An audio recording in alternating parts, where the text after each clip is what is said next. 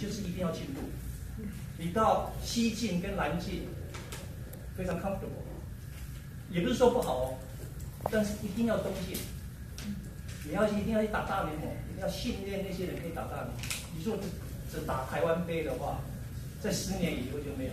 所以就是说，西进南进最重要一定要东进，because you got get better。这这这是这是我我自己的看法。